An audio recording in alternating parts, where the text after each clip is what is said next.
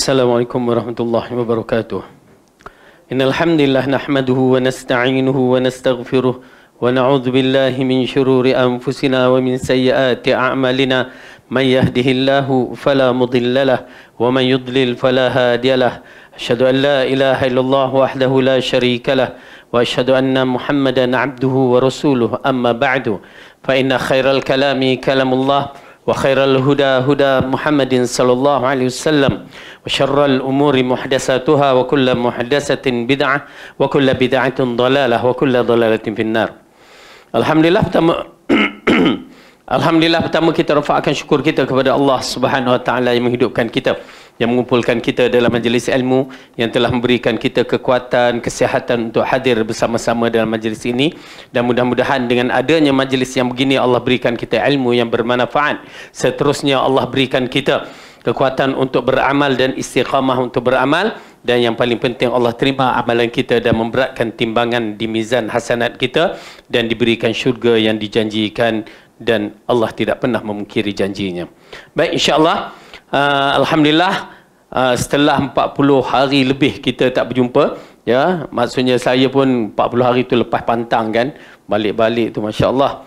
Ala kulihal nak menceritakan bahawa pertemuan kita adalah pertemuan kan Allah dan kita bersama-sama dalam majlis liqa ilmiah ini. Mudah-mudahan kenapa dalam hadis Rasulullah mengatakan uh, man salaka tariqan yaltamasu fihi ilman sahhalallahu lahu bihi tariqan ilal jannah barang siapa yang berusaha dalam siri menuntut ilmu maka Allah akan permudahkan bagi kita jalan ke syurga dan mudah-mudahan Allah permudahkan bagi kita jalan ke syurga amin ya rabbal alamin Baik, kita sambung balik pelajaran kita yang masih lagi berkisar dengan ayat di dalam surah Al-Jin. Ya, surah Al-Jin surah yang ke-72.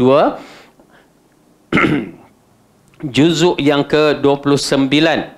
Dan kita masih lagi membicarakan beberapa perkara berkaitan dengan jin.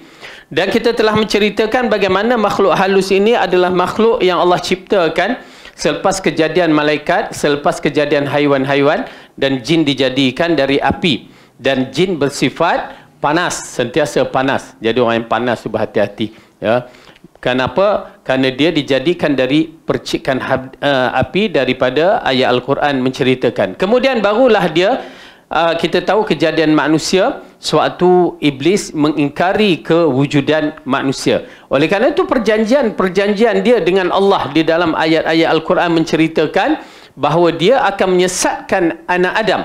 Dia akan menyesatkan anak Adam sehingga akhir hayat mereka. Ya, tuan-tuan dan puan ini adalah satu perjanjian dengan Allah dan Allah membenarkan dalam siri perjanjian itu. Ya, okey, dia terima. Tetapi Allah mengatakan sesiapa yang datang kepada Allah, kembali kepada Allah, maka kamu tidak akan dapat ya menyesatkan mereka. Jadi, uh, tanggungjawab kita adalah membentukkan diri kita menjadikan pribadi yang betul-betul beriman kepada Allah menjadikan pribadi yang betul-betul ada ilmu yang tepat supaya kita lari daripada ya perancangan-perancangan tipu daya tipu daya iblis ini ataupun syaitan ini. Dan kita dah bahaskan tentang jin ini terbahagi kepada dua, jin Islam dan jin kafir. Dan kehidupan mereka macam manusia juga. Ya maksudnya kalau jin kafir tu okey clear lah orang kafir tu clear. Dan jin Islam itu seperti orang Islam. Ya orang Islam yang bertakwa, orang Islam yang fasik dan juga orang Islam yang yang zalim munafik. Ya jin pun begitu juga. Okey. Cuma di antara perkara yang menarik dalam bab ini kita ulang balik ya. Di mana kita tidak mampu untuk melihat jin dan jin mampu untuk melihat kita. Kita tak mampu untuk melihat jin, jin mampu melihat kita. Ini berdalilkan di dalam surah Al-A'raf yang kita pernah bacakan dahulu. Jadi kalau ses... Hayakumullah, barakallahu fiik kalau seseorang itu mengaku dirinya boleh nampak jin misalnya yang pernah saya cerita bomo tu scan dia kata oh kamu ada 30 ekor jin kan? Jadi penipu bomo tu dah clear bercanggah dengan al-Quran. al-Quran kata dia tak nak kita tak nampak maka tiba-tiba bomo tu boleh nampak. Manusia tak nampak bomo tu boleh nampak. Bahkan boleh dikira dia kata ada 30 ekor jin. Ini merupakan penipuan dalam siri ruqyah atau rawatan di dalam Islam. Ya? Kita kita dengar tengok tak syekh tu pakai lebay lepas tu baca bismillah sedikit oh dia ni adalah perawat Islam tetapi penuh dengan penipuan penuh dengan kesyirikan kadang-kadang. Ini di antara perkara yang kena berhati-hati para uh, orang yang sakit yang nak perlukan rawatan ya kena berhati-hati. Okey? Dan beberapa lagi perkara-perkara yang telah bercanggah dengan Quran dan hadis jelas Ya, tuan-tuan dan perempuan bila kita mengatakan kita beriman dengan risalah yang Rasulullah bawa, berimanlah. Jangan kita pusing-pusing pusing-pusing. Misalnya nak pagar rumah kan. Kita nak pagar rumah sedangkan ya kita dah belajar al-Quran dan sunnah ya yang tak belajar tu Allah yahdi Allah bagi petunjuk kepada mereka ya supaya mengikut al-Quran dan as-sunnah dengan cara yang betul. Bila Rasulullah mengatakan jangan jadikan rumah anda rumah kamu seperti rumah uh, seperti kubur Ya, maksudnya tak ada dibacakan Al-Quran. Oleh kerana itu, rumah yang tidak dibacakan Al-Quran, sibuk dengan TV, sibuk dengan game, sibuk apa lagi sibuk? Ya, tidak disentuhkan Al-Quran, rumah tu sebiji macam kubur. Cuma malaikat je yang tak datang, malaikat muka dan nakir. Ya, rumah tu tidak ada sakinah, ketenangan. Rumah itu tidak ada kehidupan sebenarnya. Okay? Lalu Rasulullah ketengahkan lagi hadis, rumah yang membaca surah Al-Baqarah, syaitan tidak akan masuk. Clear? Hadis sahih. Ya, Rasulullah mengatakan rumah yang ada baca rumah yang membaca surah Al-Baqarah, syaitan tidak akan masuk. Tetapi kenapa kita ni, ya, kita ni bila Rasulullah sebut begitu rasa macam tak syok pula, tak sedap. Kita nak rumah tu dipagarkan dengan dengan apa? Dengan garam kan? Rempah ratus, tok bomo tu yang renjis-renjiskan air. Tuan-tuan dan perempuan ya yang dirahmati oleh Allah. Rumah Rasulullah kata rumah yang dibaca dalam surah Al-Baqarah. Bomo kata rumah kena pagar dengan garam dengan apa lagi ya? lada hitam. Ya. Surah. Okey. Itu rumah yang takkan dimasukkan dimasuk oleh syaitan. Sekarang kita beriman kepada Rasulullah ataupun kita beriman kepada bomo. Ya. Kenapa tak lada hitam tambahlah sikit bunga bunga bunga cengkeh ke bunga bunga apa ke nama tu dah lama amboi bawa pergi ah bunga lawang ya dah masya-Allah 40 hari tinggal Malaysia dah lupa segala-galanya Ingat Arab. Aduh. Okey. Lagi senang terus buat masak kari kat situ je. Okey. Inilah kesilapan kita dalam beriman kepada risalah Rasulullah dengan tidak membenarkan beriman nama je beriman tapi tidak pernah membenarkan risalah Rasulullah. Okey. Jadi selesai masalah bila kita mengambil jalan Rasulullah itulah manhaj kita baca Quran ya baca surah baqarah apa nak keluar baca doa ada perbuatan-perbuatan yang Rasulullah kata baca baca iman didahulukan ya barulah yang lain-lain itu dibicarakan. Ya menarik sekali dalam bab-bab ini masalah jin. Masyarakat kita terlalu memuja-muja jin. Ya terlalu memuja jin. Terlalu berprasangka berbagai-bagai terhadap jin ini kesilapan kita. Ini yang dalam ayat ini yang bakal kita baca. Di antaranya menyebabkan masyarakat Arab sendiri pun, ya bukan masyarakat Melayu je, masyarakat Arab pun sendiri mempunyai perasaan terhadap jin itu. Dan jin dia me, me, menipu daya. Oleh kerana itu ayat yang jom kita baca, ayat yang ke-6 dari surah jin insyaAllah. A'udhu billahi.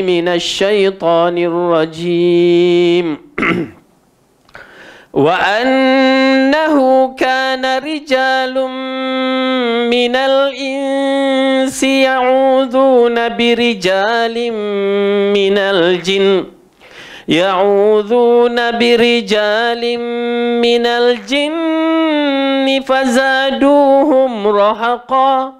وأنهم ظنوا كما ظننتم أن لن يبعث الله أن لن يبعث الله أحدا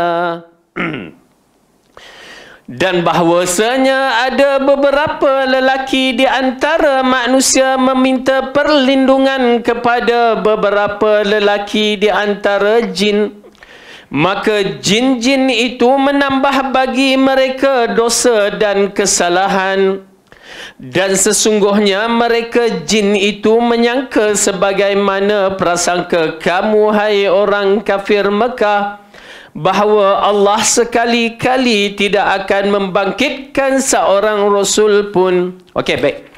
Dalam ayat ini, bagaimana kita lihat bahawa jin mengambil kesempatan daripada kelalaian manusia.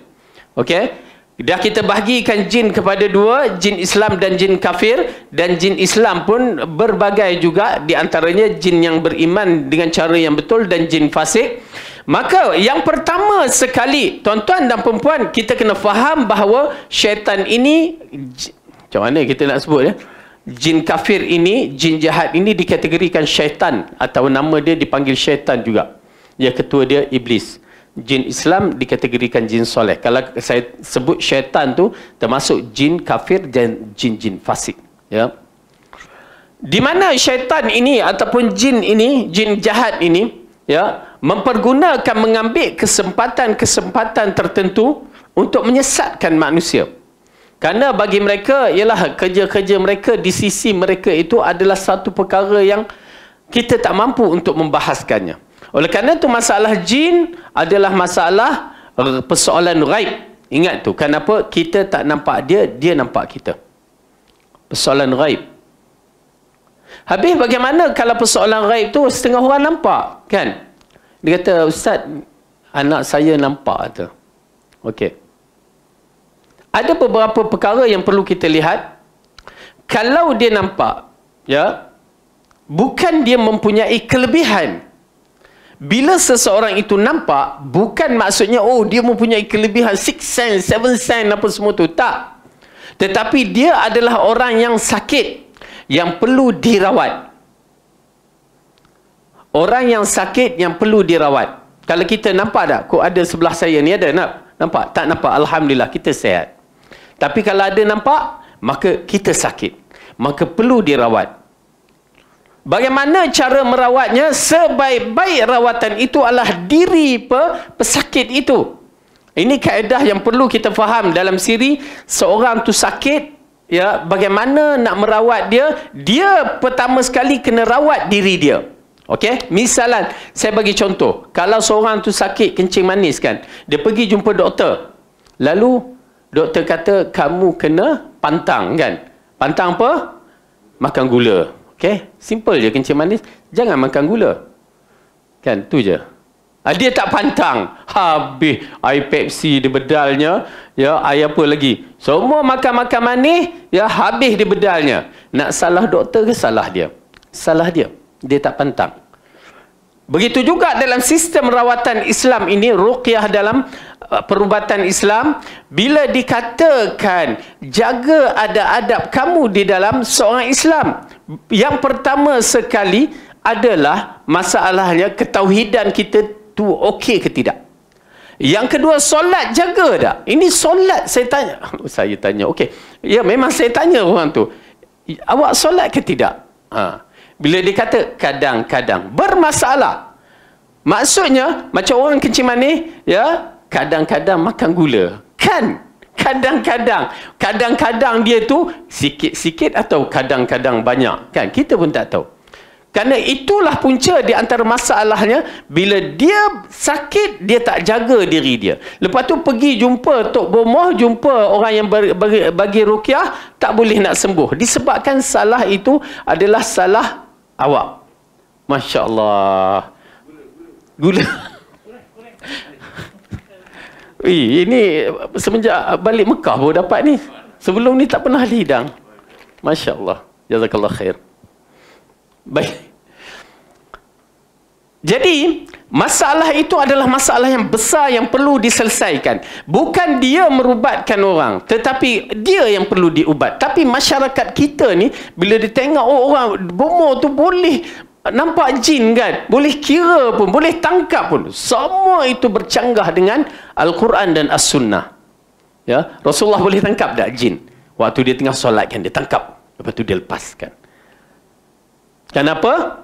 Dia mengatakan kalau tidaklah aku mengingati doa Nabi saudaraku Sulaiman, nescaya aku akan ikat ifrit ni jin ini di salah satu tiang Masjid Nabawi dan budak-budak mempermainkan dia. Nampak tak? Kalimah tu agak menarik. Budak-budak akan mempermainkan jin tu. Berarti jin itu lemah, daif.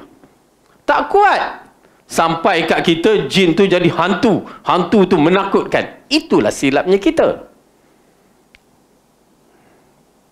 Ini perkara yang perlu di uh, wash brain kan otak kita ni supaya bahawa jin tidak ada apa-apa. Hantu adalah satu cerita yang tak pernah kita lihat start daripada baby sampai hari ini tak pernah tengok penipuan kenapa takutnya hantu kita tu benda yang tak ada seperti takutnya kita kepada Allah syirik besar sekali tu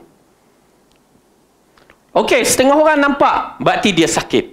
Ya, dia sakit kena berubat. Memang kita katakan mungkin dia nampak tetapi dalam bentuk yang begitu, dia sakit. Saya buka cerita. Oh, buka cerita tu best seorang budak ni SPM budak perempuan kan ha, ini uh, oleh kerana itu para jemaah ya kita nasihat orang perempuan janganlah duduk tenggek dalam bilik air itu lama sangat duduk tengok cermin muka kita kat cermin dalam bilik air itu kan kita pula jenis tak baca masuk tanda ikut suka aku je kan tu di antara masalahnya Waalaikumsalam warahmatullahi Maka dia masuk ke tandas. Eh, mula-mula dia meraung, meraung, meraung, meraung tu uh, lah. Kita tak tahu apa cerita. Mak ayah dipanggil. Okey, jom kita tengok budak tu. Dalam umur, umur dia 17 tahun. Kita membaca ruqyah dia dalam beberapa ayat-ayat Al-Quran. Budak perempuannya. Ayat Quran di antara surah yang menarik sekali. Yang kita nampak dia lekat betul-betul. Adalah surah surah Yunus waktu itu. Ya, Menarik. Kawan saya pertama kali dia datang nak tolong. Ya, dia nak tolong dah panggil jom ustaz kita sama-sama baca bila kita membaca al-Quran tu jangan tengok muka dia ya muka orang kena rasuk jin ni teruk dia muka cengih muka mata merah apa semua memanglah kita akan rasa gerun kalau kita tak ada kekuatan yang kamu tengok buat apa kan kita kata dia kata ustaz kalau ustaz lari tu saya lari saya kata la ilaha kenapa saya tengok muka dia takut kan Jangan takutlah. Yang saya pula, kita baca Quran sini muka dia tertutup kan. Baca je lah. Jangan takut-takut. Buat apa kan. Dia menjerit. Memang dia akan melawan. Berpasal makhluk tu dah meresap dalam tubuh badan kita. Dalil makhluk uh, syaitan ini boleh masuk dalam tubuh badan kita dalam surah Al-Baqarah. Dalam surah, ayat ayat riba. Ya ayat riba yang Allah kata orang yang makan riba ni dia bangun seperti mana ah, okey jom kita tengok ayat riba dalam surah al-baqarah pasal penting kita boleh tangkap uh, bagaimana Allah cerita orang yang uh, yang dirasuk oleh syaitan itu sama dengan orang yang makan riba di akhirat kelak dalam keadaan yang begitu okey surah al-baqarah juzuk yang ketiga ayat yang ke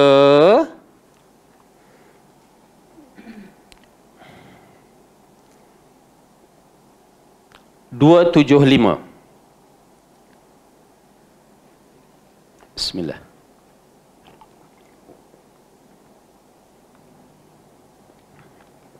Boleh. Kopi ais. Tak ada gula Sakit. A'udzu billahi minasy syaithanir rajim. Dah nampak eh? 275.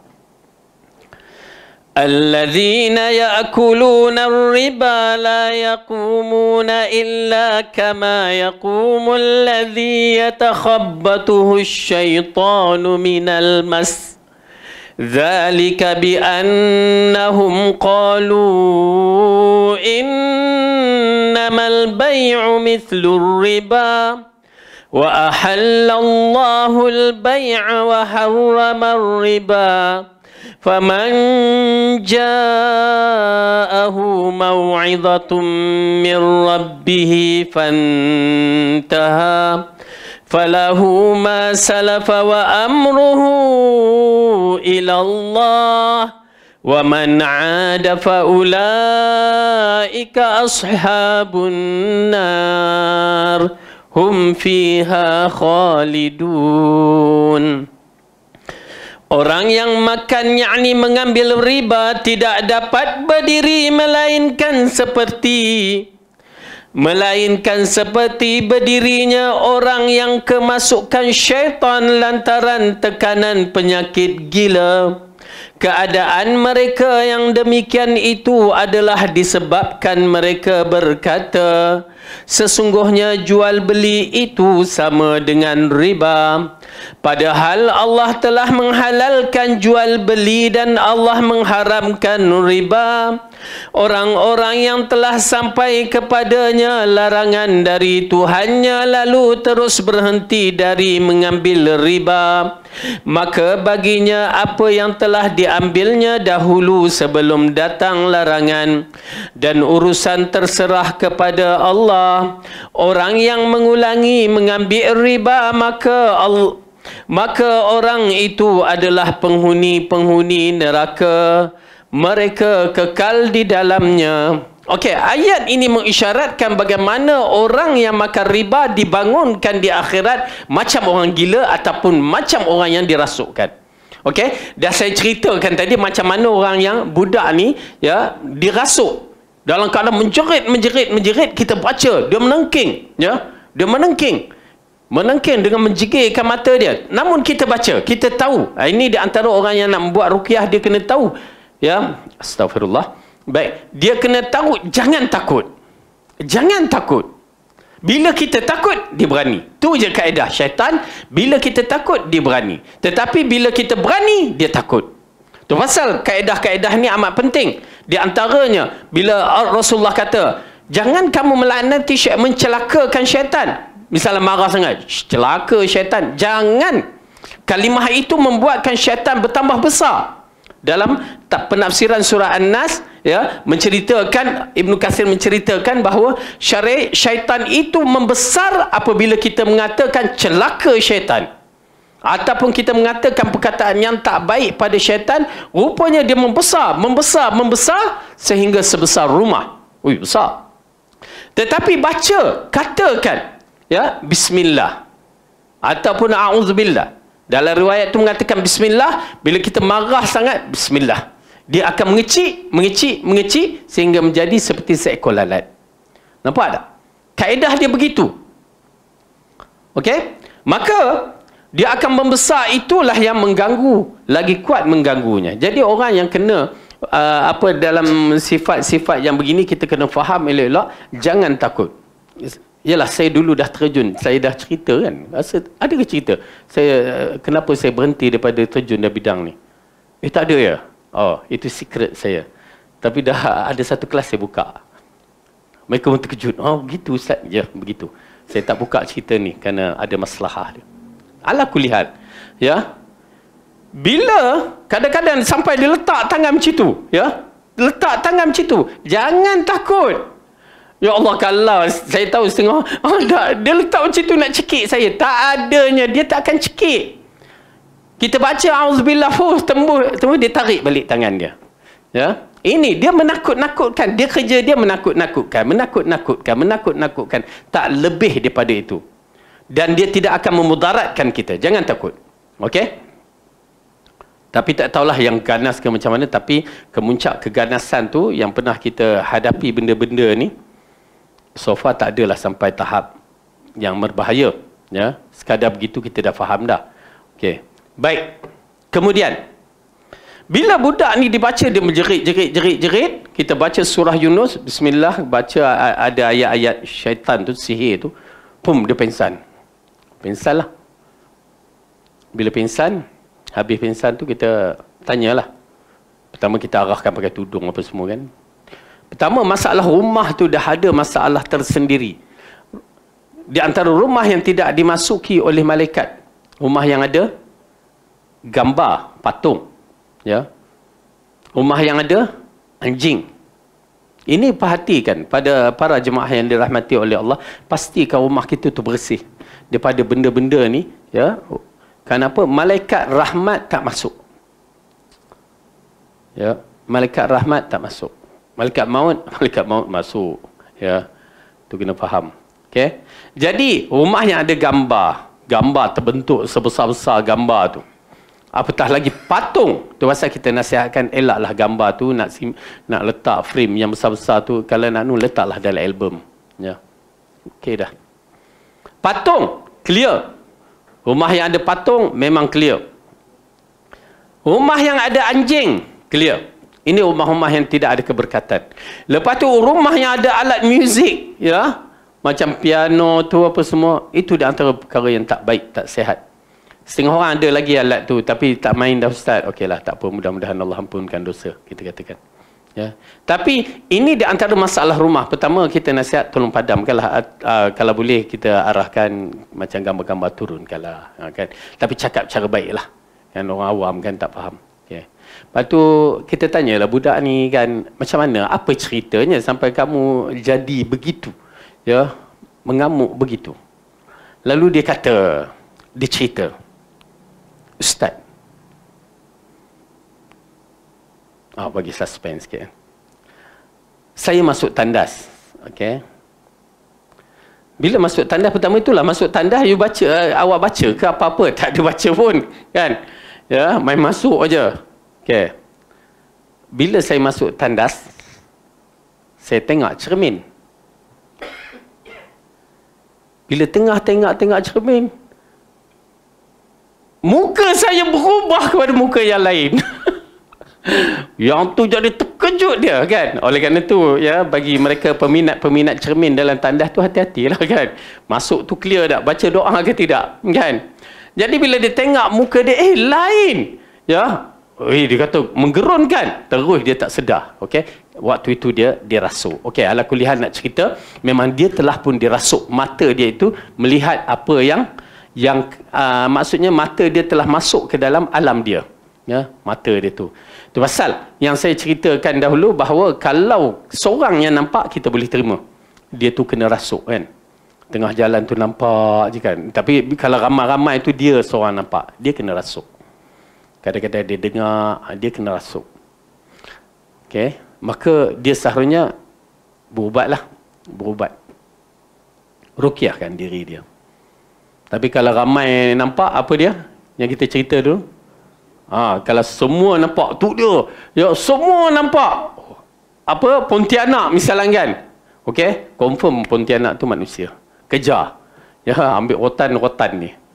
Ajar dia supaya jangan sakat orang macam tu. Ya.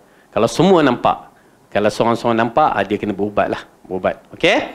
Tetapi dalam siri, saya ingatkan kepada para jemaah, ya, dalam siri-siri rawatan sewaktu saya terlibat dalam ni secara kasar, ya, dia ada betul, ada penipu. Ha. Ya, jangan jangan kata bila tu semua percaya. Jangan sama sekali. Ya, sampai saya pernah dipanggil oleh uh, ah, KP apa? Uh, hospital di Damansara Damansara tu specialized Damansara dan pernah juga di hotel uh, hospital di yang yang yang yang kat Damansara tu memang doktor tu panggil sendiri yang tu yang kat bangsa tu bapa dia nenek dia panggil ni okey tapi nak cerita kedua-duanya tipu. Ha kan Kedua-dua tipu. Doktor kata dah buat MRI. Tak jumpa. Tak jumpa Ustaz. Sampai dia kata, saya arahkan nurse atau uh, orang bawahan saya, jangan halang Ustaz Fadil nak bawa apa juga alat. Apa nak bawa? Kita perubatan Islam tak ada alat-alat melainkan mungkin air ya, dan Quran je lah. Ha. Lepas tu kita bacalah, baca-baca. Dia di antaranya baca ramai-ramai kan. Baca, baca, baca, baca, baca. Ayat-ayat ruqyah tu kalau tak nampak. Okey, kalau uh, lelaki ya senang. Kita laki dengan laki tapi kalau perempuan uh, kena jugalah ada mahram tu tak boleh dibiarkan berdua-duaan. Ya maka laki dengan laki maka di situ kita akan duduk bertanya sebenarnya. Ha, bila tanya akan terbongkarlah apa sebenarnya. Dah MRI check pun tak ada apa-apa berarti ada satu perkara yang dikatakan tipu kan? Ha, tipu.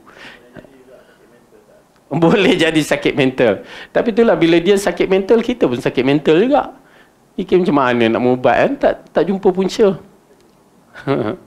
Okey, itu di antaranya. Ya, yang betul, Alhamdulillah. Ada lagi yang tipu? Ya, enam.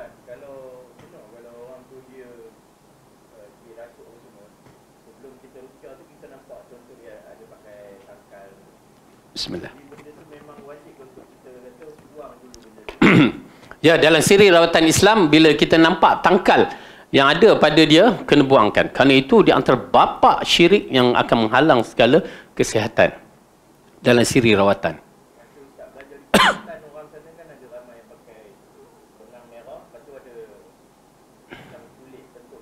Mm-hmm. Ya, ya. Uh, kami dulu di di di Pakistan dulu adalah ustaz-ustaz Libya tapi tak adalah pula kita membicara perkara-perkara tu. Ya. Hmm. Ayuh.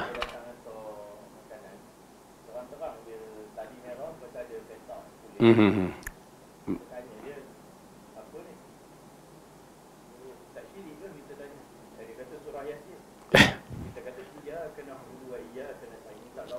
Mm-hmm. Itu pasal misalnya di antara masalah-masalah maaflah bukan kita nak kritik kedai mamak ke kedai apa kan. Tapi di antara itu di antara masalah mereka lah. Ya. Memanglah nasi kandang tu sedap. Kan ni balik dia mali eh, daripada Mekah ni tak makan lagi nasi kandang ni kan geram ni. Okey. Tapi nak cerita kadang-kadang kedai-kedai mereka ni meletakkan benda-benda khurafat yang menjadikan tangkal. Misalan, dia letak kalimah Yasin je kan. Yasin, Alif Lam Mim. Lepas tu adalah sampai ke muncak di antara yang kita nampak benda yang berunsur syirik tu adalah nombor nombor apa? 786. 786. Ya, 786. Kalau dia letakkan 786 dah satu bab. Tetapi dia mengiktiqadkan Syekh. masalah ni, masalah ni pasal ais. Okey. 786 itu bila ditanyakan kepada para uh, uh, orang kawan-kawan kita di Pakistan kenapa 786 tu apa tu? Nak ais suam, ais suam. 786 tu adalah bismillah. Ha, kita terkejut kan? Saya pun terkejut. Bismillah Ya bismillah. Macam mana boleh jadi 786 tu bismillah? Lalu asalnya dia ceritalah. Asalnya bila seorang tu menulis dia letak bismillah kan. Kadang-kadang macam terima kasih. Bismillah. Mak panas eh.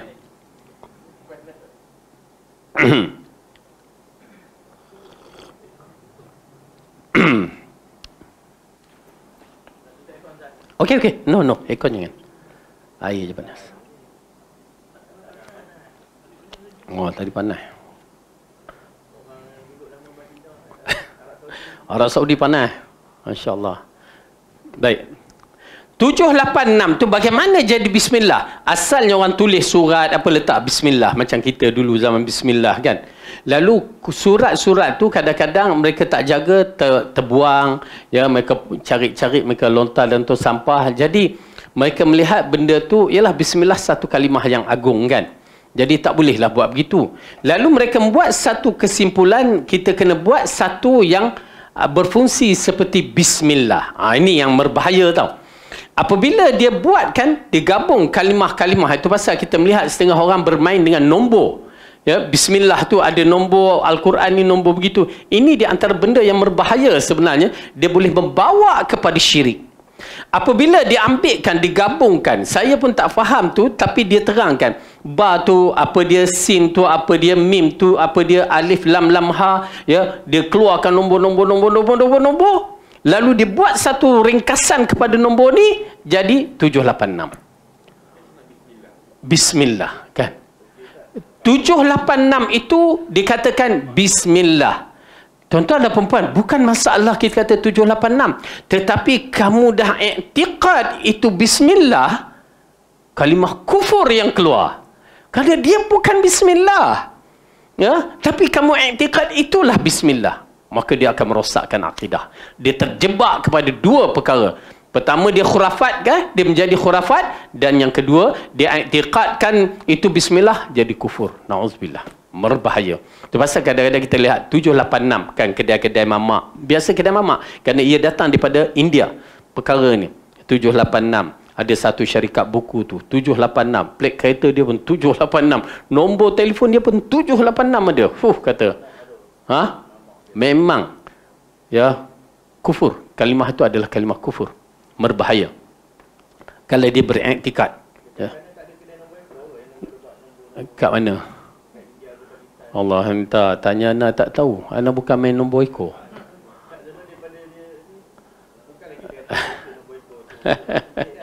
Wallahu a'lam tak tahu. Kami pelajar dulu saya boleh belajar. Maksudnya tak adalah nak mikir bab tu. Nak tengok bab tu. Tapi mungkin ada kan, mungkin ada. Baik. Jadi oleh kerana tu dalam masalah ini saya clearkan dalam bab-bab ini supaya kita tidak tertipu dengan bomo-bomo. Ya, ada bomo-bomo mempergunakan Al-Quran. Ya, dia kata boleh itu boleh ini uh, mempergunakan ayat-ayat Al-Quran lepas tu dia menipu di atas nama ya nak halau syaitan sehingga kita tengok berbagai-bagai tembak dengan pistol mainan tu kan tret pada orang sakit tu. Gila kita katakan itukah rawatan Islam? Hatta orang yang scan tu kan dia kata ada 30 kamu kena panggil suami kamu datang untuk cek kan ada ke tidak. Tapi boleh diagak suami kamu ada 90 ha macam tu. Nasib baiklah budak tu datang bertemu dengan kita ustaz apa pandangan ustaz? Kita kata awak percaya ke? Entahlah ustaz. Ya kita faham orang yang sakit dia uh, orang yang bermasalah dia akan terima bulat-bulat. Tetapi kita ada pendirian dalam bab ini. Saya kata kita ada pendirian. Bercanggah dengan Quran bercanggah dengan hadis maka itu penipu. Bomo tu penipu.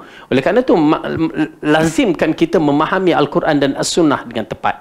Ya kerana dia akan menyelamatkan seseorang itu. Dan ingat kadang-kadang kita buat Quran dan sunnah ni dia lambat tau. Lambat. Lambat sembuh kan? Tetapi orang yang bomo-bomo ni cepat sembuh. Agak menarik.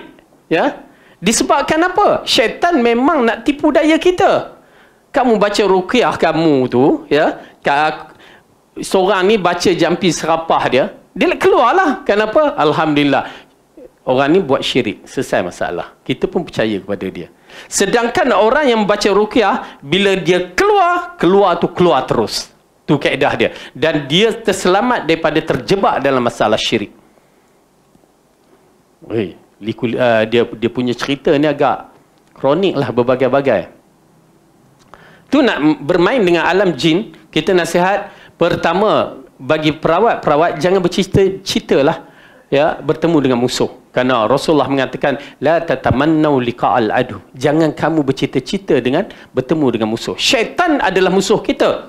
Innahu aduwwum mubin kata Allah. Eh, jangan jangan kita nak seronok itu pasal dalam siri rawatan saya banyak lari. Ya banyak perkara kan kita tak mau susah sebenarnya. Tetapi kalau dah terpaksa kita akan terjun. Tetapi kena ikutlah kaedah-kaedah rawatan-rawatan tu pertama kita lah perawat tu kena takut pada Allah. Ya. Waktu adalah acara-acara yang lain. Tapi kita cuba nak menyelamatkan, menyelamatkan masyarakat daripada lembah syirik. Tetapi masyarakat tak nak terima benda tu. Ya, mereka nakkan seperti mana yang tok nenek bomo-bomo dahulu bawa. Maka datanglah seorang tu tanam pokok durian Belanda kan. Depan rumah kan ada benda tu. Tanam durian Belanda depan rumah, syaitan tidak akan masuk. Kamu bercakap di culture Malaysia. Kalau orang Arab tu agak-agak durian Belanda boleh tumbuh ke? Kan? Satu bab. Kedua, kenapa tak tanam pokok durian durian apa musang king ke? Lagi baik. Itu bukan syaitan je tak masuk, pencuri pun tak masuk, kita pun tak masuk rumah kalau musim durian. Itulah bila agama dimasukkan akal dalam siri-siri ruqyah ni. Dan saya katakan perubatan tradisional dengan perubatan moden ni perubatan tradisional lebih banyak terjebak dalam masalah syirik. Kalau mati, mati dalam keadaan syirik. Na'udzubillah min zalik. Ni dia bapa dia jin ni. kan? Dan jin telah menepatilah. Okay. Dalam bab ini, apabila Allah menceritakan dalam Al-Quran ayat ni, bagaimana golongan-golongan jin mengatakan kepada Allah apa yang dikatakan dalam ayat tu kita baca tadi. Uh,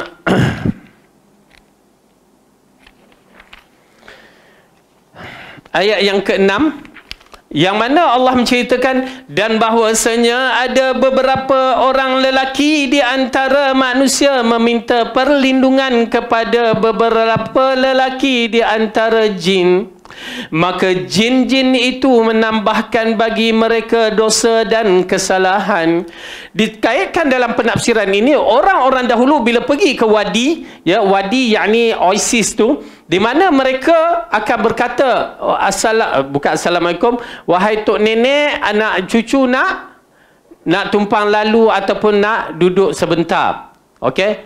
Ini adalah satu benda yang syaitan cukup suka. Dan dia masukkan minda ini kepada manusia. Dia menakut-nakutkan. Jadi orang takut minta perkara yang begitu. Bila minta perkara yang begitu, maka terjebak dalam masalah syirik. Dan masyarakat kita, saya ingat waktu saya duduk typing dulu, sebelum pindah ke Bota tu, ada bukit di tepi tu, area Bukit Larut tu, memang Orang cakap baca tu kamu masuk dalam dalam hutan tu kita budak-budak suka naik bukit masuk hutan kan. Baca tu apa dia? Assalamualaikum tok nenek anak cucu nak tumpang lalu kan. Masya-Allah. Ya, bila ingat balik bila aku anak cucu jin kan kan. Bila masa kita jadi anak cucu jin? Tapi itulah tok tok apa ni yang diajarkan kepada kita. Nauzubillah. Tak ada. Apa yang perlu kita buat? Ha, masuk tempat tempat yang begitu. Aywa, nasib baik ada cepat jawab. Ya baca a'udzu bikalimatillahi tammatin min syarri ma khalaq. Insya-Allah Allah akan pelihara. Tapi kita tak nak beriman maka itulah jadi dia. Maka tuan-tuan dan puan kena berhati-hati. Masalah ni terlalu besar kita nak habiskan ayat-ayat ni nak bicarakan agak sukar ya kalau kita masuk cerita begitu tapi nak katakan berhati-hati. Syaitan tidak kuat tetapi manusia mempunyai kelebihan dia tersendiri. Kalau kita takut syaitan akan berani. Tetapi kalau kita berani syaitan akan takut. Dan ini juga saya nak mengingatkan dah berkat kita kaitkan tentang syaitan itu muncul dalam keadaan berbagai-bagai bentuk maka di antara paling menakutkan dia musuh kita yang nyata yang mana dia nak menyesatkan kita adalah sewaktu kita nak mati. Sewaktu kita nak mati yang mana Rasulullah sallallahu alaihi wasallam uh, mengatakan bahawa minta perlindungan Allah dari beberapa perkara di antaranya termasuk tipu daya ataupun uh, kelicikan syaitan untuk menjatuhkan kita di waktu kita nak mati. Rupanya, ha, ini agak menarik bila kita study balik tentang perjalanan alam nazak yang dikatakan alam nazak. Siapa yang uh, saya ada bagi carta tu dia akan menyaksikan. Alam nazak ni terbagi kepada dua. Alam nazak. Kita cakap kita ni akan mati semua. Ya. Syekh muda lagi. Mati tak? Oh, nasib baik ngangguk. Ingat tak mati pula. Ya. Semua akan mati. Bila semua akan mati, dia akan berhadapan dengan situasi yang begini. Bila dia berhadapan dengan situasi begini, istiadat persediaan kita sebelum kematian tu amat penting. Apabila Rasulullah mengatakan memohon perlindungan dari tipu daya terakhir syaitan, waktu itu adalah waktu kritikal menentukan antara kita husnul khatimah ataupun su'ul khatimah. Ui, dia datang sampai ke muncak yang terakhir. Karena waktu itu sama ada taubat ataupun tidak dia masih lagi diterima alam nazak ni waktu syaitan tu datang tu berarti taubat kita masih diterima tu pasal dia cuba nak halang tu yang saya kata alam nazak terbagi kepada dua dan di waktu itulah dikatakan laqinu mautakum la ilaha illallah. Talkinkan orang nak mati la ilaha illallah. Karena waktu itu dia berada satu alam yang lain daripada alam kita ni. Walaupun dia depan mata kita nampak kan ya tercungap-cungap mayat tu. Kita ajarkan Rasulullah kata laqinu mautakum talkinkan orang nak mati la ilaha illallah. Macam tu. Tak payah asyhadu la ilaha illallah Muhammad Rasulullah tak. La ilaha illallah kat telinga dia. Ya. La ilaha illallah kerana waktu itu dia sedang menyaksikan suatu benda yang tak pernah dilihat suatu hidup dia. Agak-agak waktu kita tengok satu benda yang tak pernah kita lihat tu agak ghalib tak? Ya, ghalib. Apa ni? Apa nak sebut ya? Alah, bahasa Arab asyik tak mau. Ha? Fana. Fana. Oh, tu mana. Maksudnya macam kisah Nabi Yusuf tu kan. Zulaikha uh, wanita-wanita yang melihat Yusuf tu sampai terpotong-potong tangan tu kan. Dia jadi ghalid, asyik, apa lagi nak sebut. Memang dah tak tengok yang lain. Ya, sampai tak rasa dipotong tangannya. Mak Datin, Mak Datin pada hari itulah. Hari itu kisah ni. Ya, Duk tengok Yusuf. Begitu juga dalam kisah kematian kita. Waktu kita tengok semua siri amalan akan muncul ni. Di antaranya syaitan akan muncul. Adapun hadis yang mengatakan syaitan muncul dalam bentuk mak bapak kita. Hadis tak sahih. Tetapi hadis yang Rasulullah kata tu sahih. Bagaimana dia datang? Wallahu alam. Tapi waktu itulah dia sedang memerhatikan beberapa perkara. Laqinu mautakum la ilaha illallah. Talkinkan orang nak mati la ilaha illallah. Man kana akhiru kalamihi la ilaha illallah dakhala al-jannah. Siapa yang akhir ucapan dia la ilaha illallah maka dia di kalangan ahli syurga. Subhanallah. Ajar la ilaha illallah. Bila nampak mulut dia bergerak, okey stop. Jangan bertanya Joya, sakit ke Joya? Kenapa kamu? Jangan. Ya waktu tu jangan cakap apa-apa. Dah nampak macam tu stop. Okey, berundur, biarkan. Tahu tak kalau dia sebut kalimah tu amat berharga sangat-sangat. Ialah kalimah tauhid walaupun kita sebut hari ini belum tentu pada hari kematian tu boleh menyebutnya. Kerana dia bergantung siri amalan kita. Yang soleh. Okey. Habislah, habis syaitan. Pum, syaitan stop. Waktu tu dah tak boleh dah. Dan itulah waktu yang dinamakan nazak yang taubat tidak akan diterima lagi. Uish. Rugi. Waktu tu rugi. Kerana malaikat telah datang kiri dan kanan yang mengikut amalan masing-masing. Kalau orang soleh, malaikat yang berpakaian putih dengan bau harum-haruman. Kalau orang yang tidak soleh, malaikat yang berpakaian hitam dengan muka yang bengis, bau yang busuk duduk kiri dan kanan sejauh mata memandang. Kita duduk dekat tak tahu Ingat, tu pasal bila bicara ke alam nazak, dia termasuk dalam siri beriman kepada Allah tentang perkara yang gaib. Kita tak nampak. Dan ingat, waktu alam nazak, teknologi-teknologi di sisi Allah begitu dahsyat. Maka didatangkan penampakan siri amalan-amalan soleh. Ha, tang situ yang nampak macam kita baca dalam ayat surah Al-Munafiqun ayat yang ke-10. Amalan soleh nampak. Sehingga ya Allah tangguhkan kematian aku. Ini orang soleh ya orang soleh.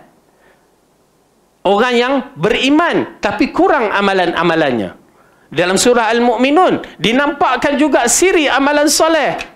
Maka dia minta tangguh. Syekh Saleh Uthaymin mengatakan dalam penafsiran ayat itu ini menunjukkan orang ni orang yang beriman tapi kekurangan siri amalan-amalan dia. Lalu diminta Allah kembalikan ke muka bumi.